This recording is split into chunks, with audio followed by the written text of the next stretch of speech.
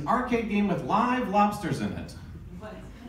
Yeah, you pay $5 to drop the claw into the water, and if you pull the lobster out, they will cook it for you in the bowling alley snack shop. Guys, I don't know if there's anyone in the bowling alley snack shop that I trust to cook that properly. Someone to compete on Hell's Kitchen, having their origin story in a bowling alley snack shop. Just going up to Chef Gordon Ramsay, and he said, "All right, what do you what do you have for me today?"